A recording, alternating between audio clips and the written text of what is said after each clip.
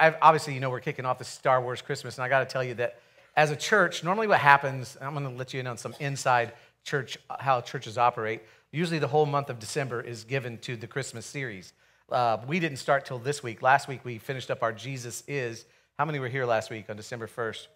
The reason why we did that is because it just feels like takes forever for Christmas to get here, doesn't it? It doesn't it feel like it takes forever for the Christmas season? I mean, as a culture, we build it up so much that when December 25th comes, kind of feels anticlimactic, doesn't it? It's like Thanksgiving, right? You spend all day preparing and then you eat and you're like, that's it. And so it just feels like, oh, I just got to make it because it's so long. I got to make it to December 25th, doesn't it? Um, because remember, it used to just be about 12 days of Christmas. How many were alive when it was just 12 days of Christmas? You know, you had geese a laying and some drummers drumming and five golden rings. And now it's like as soon as Halloween's over, boom, they're selling Christmas stuff. So it's like two months of Christmas. And after a while, you're like, where's the spiked eggnog? Because that's what's going to take me to get through this thing. right? And to top it off, Christmas is complicated, isn't it? You got family, you got drama, you got, you know, oh, they're coming over here. Those two don't get along. Make sure you don't sit them next to them. They have to come over on Christmas Eve because they don't get along with them. So we'll bring them over on Christmas. And, you know, people are talking about Trump and he hates Trump and she loves Trump and he hates walls and she loves walls and he wants to save the whales and she hates whales. And it just gets complicated, doesn't it? And then, to, and to top it off, it's expensive, isn't it? It's expensive. That's why I love, we've been our church partners with Dr. Rich Hughes and the Tierney family, and they do Secret Santa, where we go in and they pay off um, layaways at Walmart. Uh, they've paid off, I believe, 60. They find families that have layaways at the different Walmarts and pay them down to one cent. Uh, the fam- families that have bicycles, toys, and things like that, so they can tell it's Christmas, pay it down to one cent, and they get a text. This family gets a text and says, Hey, you owe one cent. And they're like, What? And they go down there, and it's all paid for. Um, and your giving helps do that. We actually are doing Niceville Walmart tonight. We're going to go do, pay off their layaways there. So if you want to give towards that, you can find out later. But I love that because you know what else it does? Because so many times when we give uh, to the poor or to people in need, um, it takes away their dignity. But you do it in a way that they still have dignity because to their kids, they go down there Walmart and they're buying it themselves. And that's important, right? So thank you for all those you give. And thank you for Dr. Rich Hughes, who spearheads that up. But it's, you know, it's just, yeah, it's messy. Christmas is messy, it's complicated. I mean, you got the, uh, you got the drama. Hey, Kevin, look what you did, you little jerk. You know, what you do to my tarantula and all that. And, um, but actually, when I talk about uh, complication, I'm really not even talking about that stuff because that kind of stuff that we've done in our culture, we've did that to ourselves. It's our own fault that we've gotten there and we've allowed our culture to have two months of Christmas. When I'm talking about compl- Christmas complications, I'm talking about the OG Christmas, the one in the Bible. See what I did there? I'm talking about the one in the Bible where Mary and Joseph have to go to Bethlehem to pay off a tax bill. And can you imagine if you had to like hoof it up to Washington, D.C. and pay your tax bill in person if you couldn't e file or anything like that? Can you imagine? Or just go to your hometown? How many still live near their hometown? Now, I mean, just imagine. Well, I was born in Fort Walton, so that wouldn't be so bad. But could you imagine no Uber, no Delta Airlines, just you know going by foot? And to top it off, Mary's pregnant, and she's, I mean, she's ultra pregnant. She's like, you know, pregnant, like about to give birth, pregnant, right? And really, if you think about it, if you really think about it, it was complicated, but God even God made it even more complicated. Because don't you think that maybe God could have gotten them a reservation in a hotel? Right? I mean, he knew this was going to happen. I mean, he knew this thousands of years. There's the whole, you know, Lamb of God slain before the foundation of the world thing. All right, that's what it says that before God even formed the world, he knew this was going to happen. So you think he could have at least made a reservation, right? Because there were prophecies.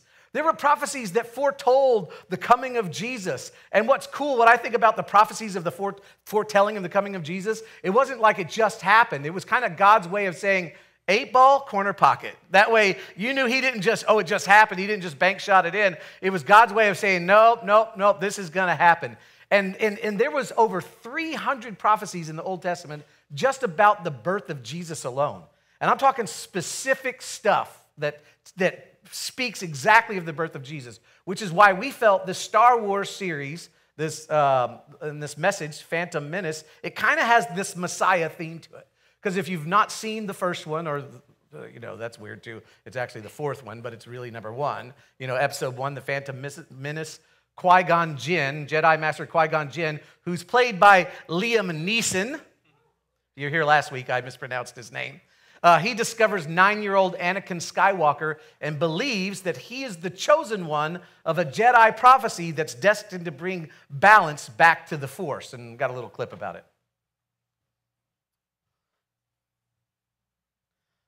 No, that's not the clip. I have encountered a divergence in the Force.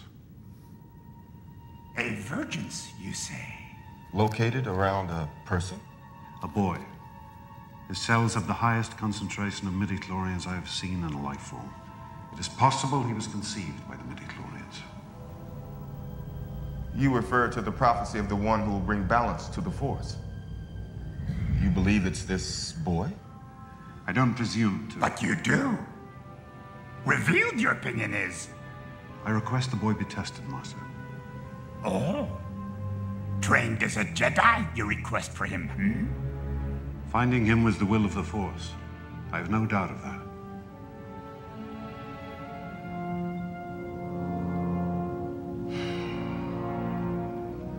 Bring him before us, then.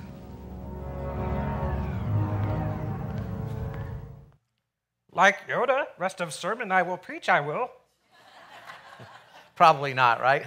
So, just like in the movie, there are thousands of years of prophecies foretelling the coming of Jesus and weird stuff. I mean, super specific and pro- precise. Um, uh, things like, um, uh, in fact, in fact, the, the chances of God fulfilling all of these prophecies wasn't just like eight ball corner pocket. It was more like eight ball, bounced off the table, hit the wall, through the moose antlers, fall into a glass of water, the glass spills, a bird picks it up and drops it into the hole. Okay, kind of uh, uh, Happy Gilmore stuff, okay, at the end of Happy Gilmore. That's the chances of all this happening. And it was God's way of saying, hey, listen, I, am in control here. I know what's going to happen. I mean, when you read the, the, the, prophecies concerning Jesus about the birth of this Messiah coming, there's actually four different um, locations or cities listed on Jesus' birth certificate, if you will. You know, because you and I just have basically one, one, one, one listing on our birth certificate. Mine says Fort Walton Beach, Florida. But when you read about Jesus, you could go, oh, hey, listen, the Messiah, it says that the Messiah is going to be born in, in Bethlehem. Yeah, but I read that the Messiah is going to come out of Egypt. Well, I read that the Messiah is going to be a Nazarene. Well, yeah, but I read that, the, that, that there's going to be weeping and mourning in Ramah because of him. Well, which is it? All of them, all of those things. So, hundreds of years before this even comes out, before the birth of Messiah, God says, Listen, my son, it's going to be so specific that he's going to have four cities connected to his birth. So, here's my point. My point is that Jesus came and meticulously eh, fulfilled all of this stuff so that God would know and that we would know that God is doing exactly what he said he would do. And so, get back to my point Christmas is complicated. Because while all of this is happening, you know, all of these prophecies are being fulfilled, there's somebody aggressively trying to stop Christmas, trying to put an end to Christmas, trying to put an end to hope. You know, while you know it's bad enough that and that it's complicated enough that God is, you know, it's hard enough to try to make all of that stuff happen, but now you have somebody trying to stop the whole thing. And so, in fact, this person that's trying to stop the whole thing is the most powerful person in the country at the time. And so, what I want to do is, I'm going to, you've probably never read this before, maybe you have. It's usually not a, pa- a, passage of scripture that a pastor reads at the Christmas story. And when I read it, you're going to figure out why. You'll see exactly why. It's not something that we read to our kids, you know, on Christmas Eve. Um, but I figured since we're talking about the Phantom Menace and how this Phantom Menace tried to stop Christmas, I thought it would be appropriate to read this. So this takes place in Matthew chapter 2. And in fact, I want to welcome those that are watching on our online campus. Could we just give them a hand here?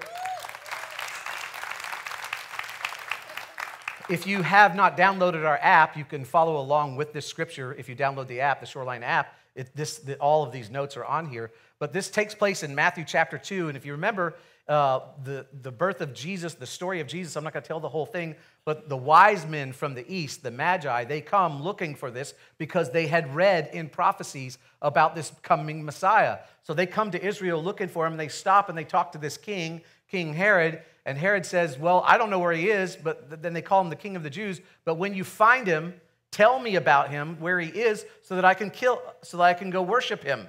And uh, so instead, the Magi, they don't go back. And this is where we're picking up the story. They don't go back and see Herod. It says, when they'd gone, that's the Magi, the wise men, an angel of the Lord appeared to Joseph, that's Jesus' dad, in a dream. Get up, he said, take the child and his mother and escape to Egypt. So now we have see that they were in Egypt. Stay there until I tell you, for Herod is going to search for the child to kill him. So he got up, took the child and his mother during the night, and left for Egypt, where he stayed until the death of Herod.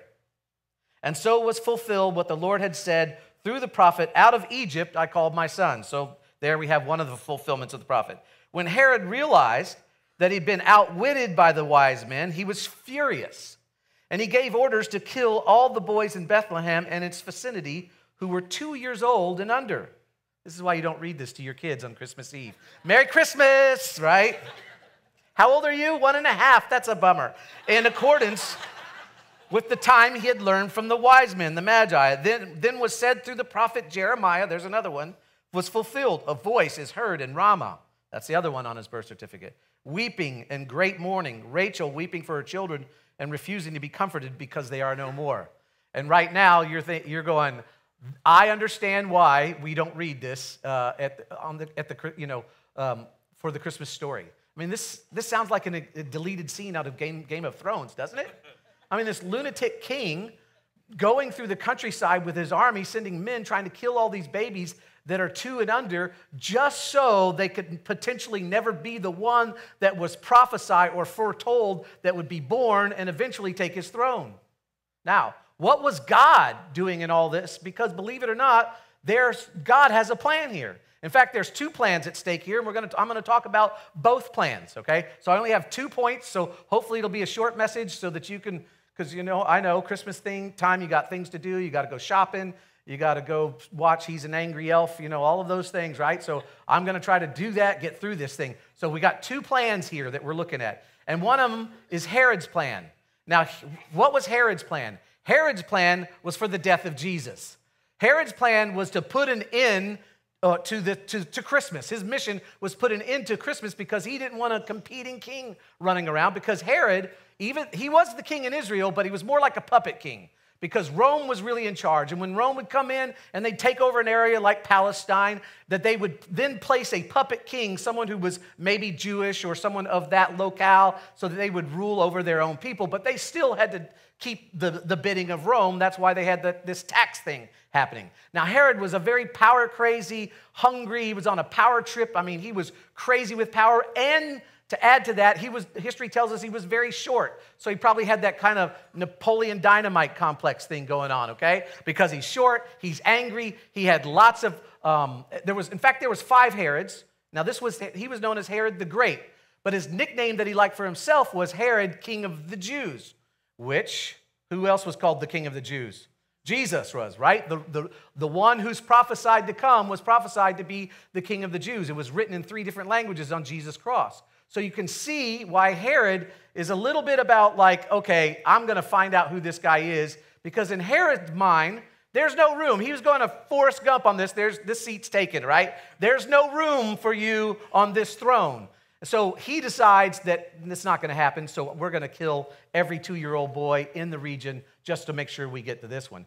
Now, it's, that seems kind of brutal, doesn't it? I mean, in our culture, we think that's just, did that really happen? But you have no idea how twisted this guy was. Four days before his own death, which, by the way, because he was dying of a disease that caused his insides to be eaten, it looked like he was being eaten from the inside out. Four days before he was to die, and one of his sons was to take the throne, he had that son butchered and killed because he just thought he just looked a little bit too anxious, okay? That's the kind of guy he was. He was super paranoid. He wasn't Jewish himself, although he married a Jewish woman and he did a lot of things for the Jewish people. He built the temple that Jesus walks into. And it was, and when he built it, he wanted to build the largest temple in the world for any God, so it was magnificent. He built a lot of big things. He had a palace for himself in Jerusalem. He had one down by the Dead Sea called Masada that you can still go to today. And so, yes, he did a lot of things. He put his own wife to death, including her mother in law. Don't get any ideas, guys. Including her mother in law because he thought that they were plotting against him. There was a saying that said, It's safer to be Herod's pig than it is to be Herod's family. So killing those babies was just another day at the office for him. But little did he know that this effort to put an end to hope, that this effort to put an end to Christmas didn't start with him. It actually started way back in the beginning. This phantom menace has been trying to put an end to Christmas all the way back to the Garden of Eden when man fell and the first Christmas card ever was sent out. Now, you might think that, well, we don't hear about Christmas until you get to the New Testament with Matthew chapter 1 and Matthew chapter 2 and Luke chapter 1 and Luke chapter 2. But actually, Christmas shows up all the way back in Genesis 3, the very beginning with Adam and Eve. When Adam and Eve fell, when they sinned, God spoke a prophecy about what he was going to do to fix this, this fact that death and sin had come to the earth. And the answer was that he was going to send his son Jesus. And even all the way back in Genesis 3, he hints at a virgin birth, okay? That this, this one who's coming will be born of a virgin birth. And he hints at it because he says the one who's coming will be born the seed of a woman. I remember sex education. The woman doesn't provide the seed, does she? What does she provide? The egg, right? What's the guy? The dude provides the seed. So he was that even in Genesis, 3, it's talking about this immaculate conception, Emmanuel, God with us, because this was going to happen through God and woman. So, this one who was coming, the chosen one, was going to be fully God and fully woman. I mean, fully woman, sorry, fully God and fully man. You can say that if you want. Fully God and fully man, mankind, okay? Well, what kind of church is this? All right. now, in this prophecy of the chosen one, of the one to come, the Messiah, the first Christmas, there is also a prophecy given to the snake. And that's what I want to look at, who deceived the woman. And that's where we find it. It says, Genesis chapter 3, verse 15. Here's what God says to the snake And I will put enmity between you and the woman, and between your offspring and hers. And look what it says He will crush your head, right? and you will strike his heel. So, this idea is that this, he, the, this serpent or this phantom menace, if you would, is going to strike the heel of this chosen one, of the Savior. But this chosen one is going to do what you should do to a snake crush his head, right? Knock him out. Now, I get, I don't know about you, but I get these weird text mails, er, text mails, text, I'm talking like I'm 60. I got a text mail today on that Snapagram, you know? yeah. I get these weird text messages that are advertisements. Anybody get those? I get one from a vaping company. I've never vaped before, I've never shopped for vaping, whatever it is. I do talk about shooting the president, but never vaping, right? That was last week, by the way. Um, and it'll come every day, and you block, and then you get it from a different number, right?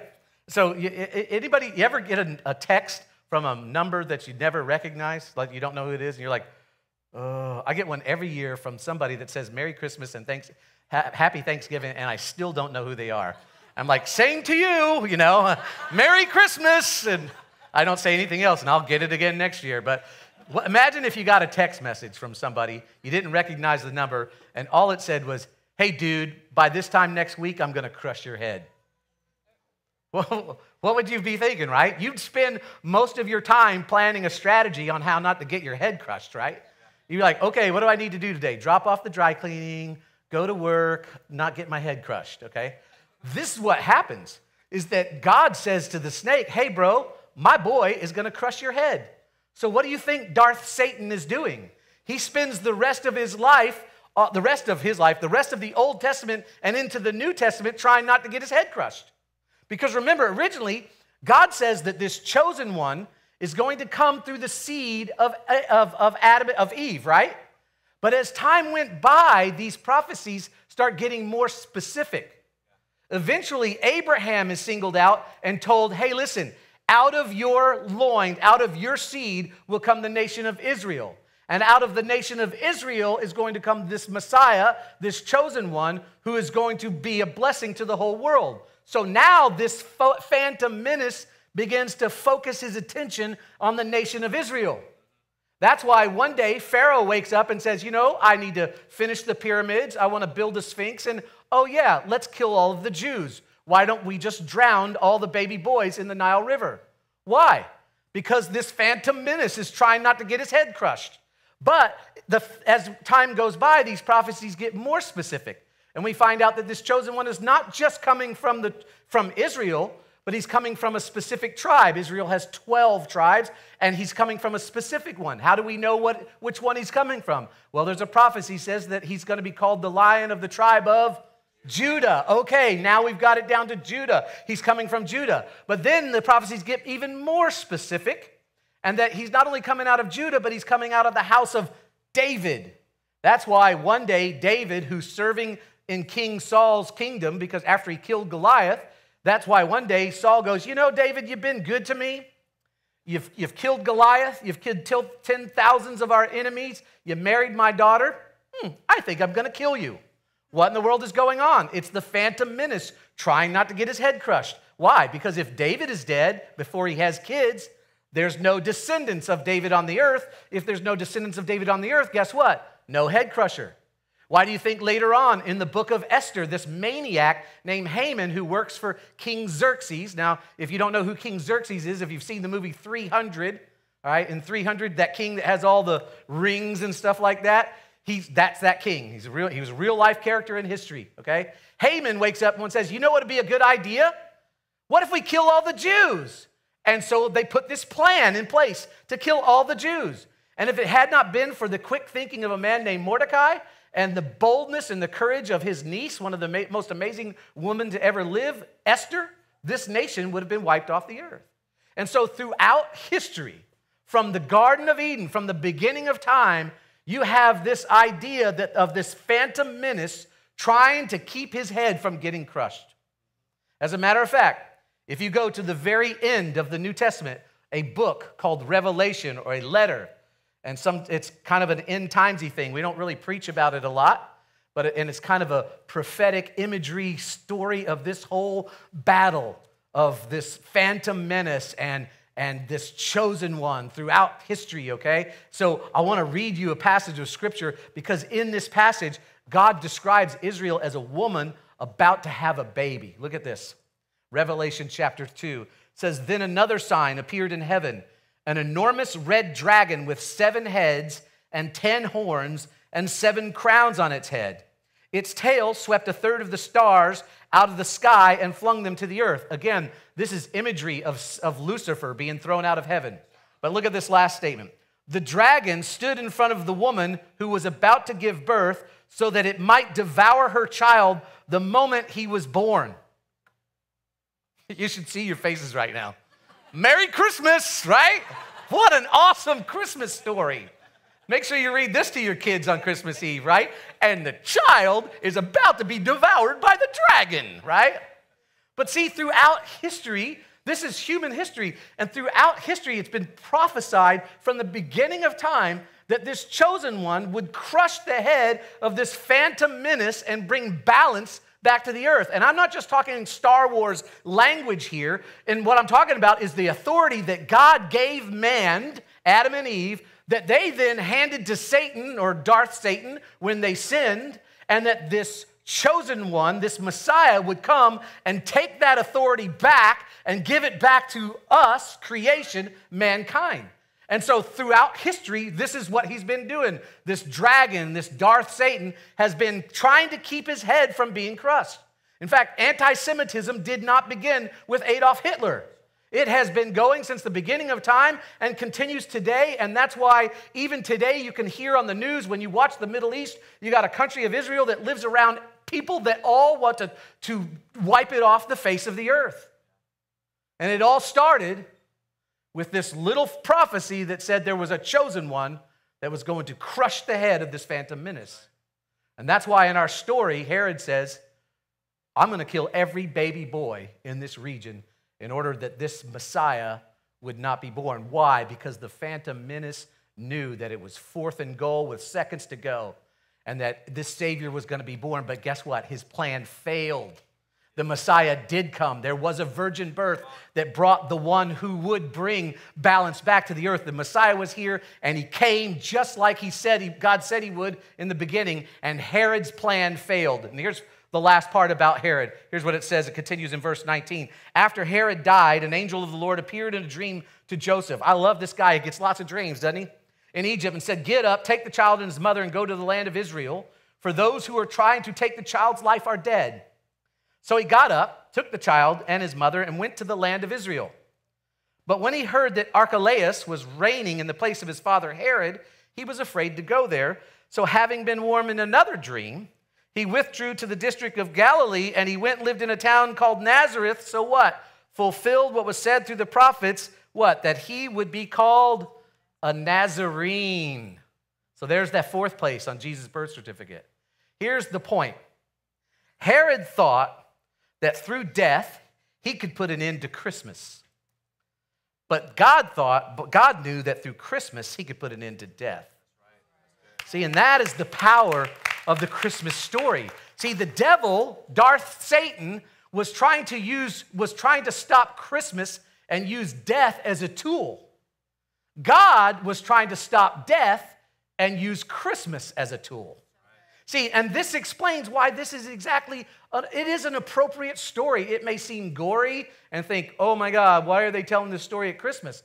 But this is an appropriate backdrop for us to enter the holiday season because I listen, I know we all want the Christmas season to be about, the, and the messages too, to be about comfort and joy. And we sit in our staff meetings, and Darlene, this is her big thing, is I want, I want there to be wonder at Christmas, right? We all want that. We want it to be the most wonderful time of the year and the sea of swirly twirly gumdrops and the candy cane forest and it's a wonderful life, right? And it should be. But the reality is, as we see here, there was bloodshed. There was grief. There was grieving mothers. And that had to happen in order for us to have comfort and joy. And even today, as we enter the Christmas season, you know, not everybody is, it's the most wonderful time of the year. There's, there's grieving, there's heartbreak, there's broken people, there's evil in our society. We have this shooting in Pensacola, there's just evil out there in the world. And the truth is, there's pain. And that's why, you know, in the Christmas carol that we sing, it's my favorite one to sing on Christmas Eve, O Holy Night, it says, Long lay the world in sin and error pining till he appeared and the soul felt its worth. See, death is the reason why there was ever a Christmas. In the dark street shineth the everlasting light, and the hopes and the fears of all the years are met in thee tonight. See, Jesus came to solve the problem of death. And that's why it's fitting that on his birth that was filled with death and bloodshed. Now the question is, how how would he solve the problem of death? And this is where it gets interesting because remember what, what, what, was, what was Herod's plan? Herod's plan was for the death of Jesus, right? What was God's plan in all this? Here's where it's interesting is that God's plan was the same thing the death of Jesus. Only it wouldn't be in Bethlehem as a baby, but in Jerusalem as a full grown man hanging on the cross outside the city for the sins of the world. Not as a baby, as though he wouldn't have any choice in the matter, but as a 33 year old man who would say, Nobody takes my life from me. I willingly lay my life down. In fact, Jesus was able to do what Herod was unable to do, and that Jesus left his throne as a man and came to earth to be born as a baby, whereas Herod pathetically held onto his throne as long as he could until death finally pried it from his fingers, which happens to all of us, by the way. And if our treasure is in this world, then death takes us from our treasure. But if our treasure is in heaven, then death takes us to our heaven, to our treasure. And Jesus showed us what Herod was unable to do, and that he left his throne in heaven. And here's how Paul says it in Philippians chapter 2. Wish I had some music up in here to drive this point home.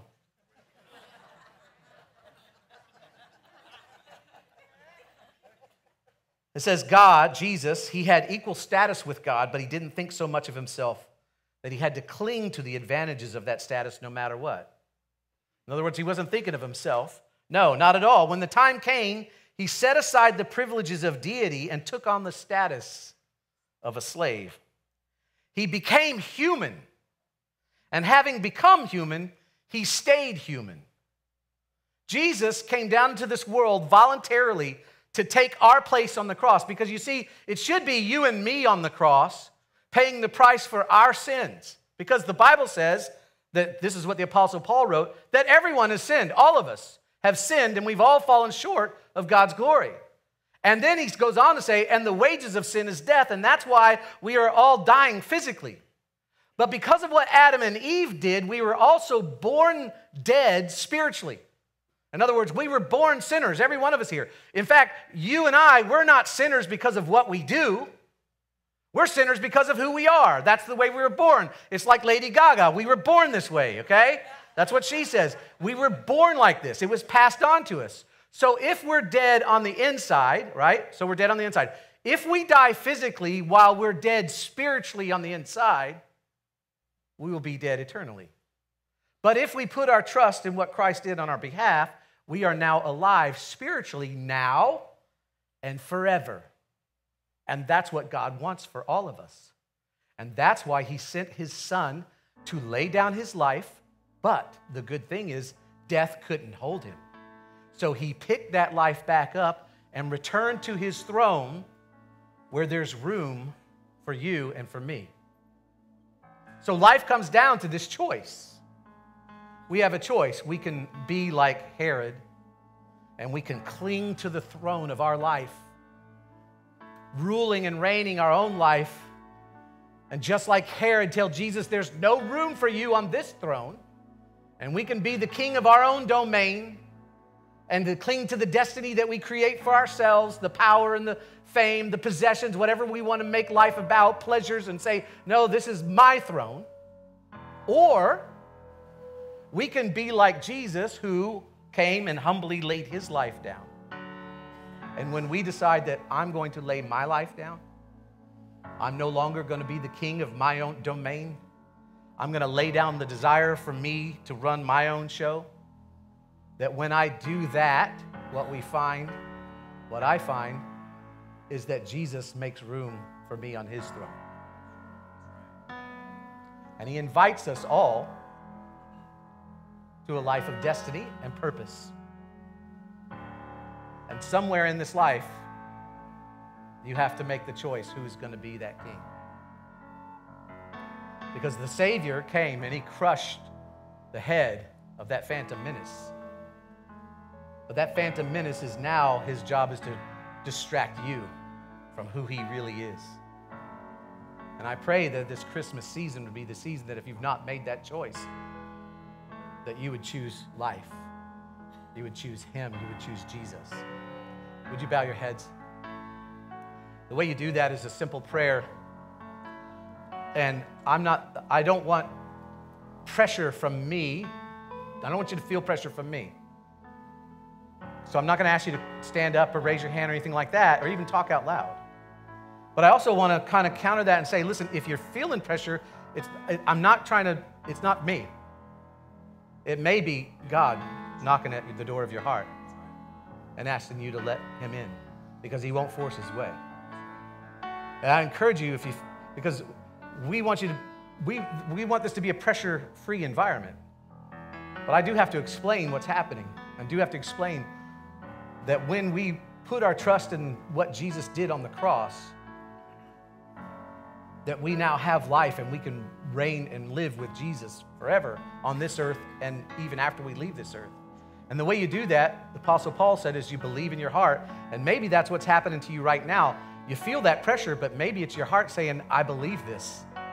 Well, the next step is to just say that you believe it. And that's what prayer is. So I'm going to pray a prayer. And if you, if you feel like you're there, if not, don't worry. We, we, we want you to come back with, until you have that aha moment that Jesus is who he says he is, and we believe that'll happen one day. But the prayer goes like this Father, I come to you in the name of Jesus, and I believe that you sent your son, Jesus, to this earth to die on the cross for my sins. That the reason we celebrate Christmas or the birth of Jesus, the birth of a Savior, is because that was the start on the way to the cross. And I know that I've sinned, and I know that I've fallen short of your glory, and the wages of sin is death, but I also understand that the eternal life comes through Christ Jesus. So this morning, I declare with my mouth and I believe with my heart that Jesus died on the cross for my sins and he rose again from the dead and he's inviting me in.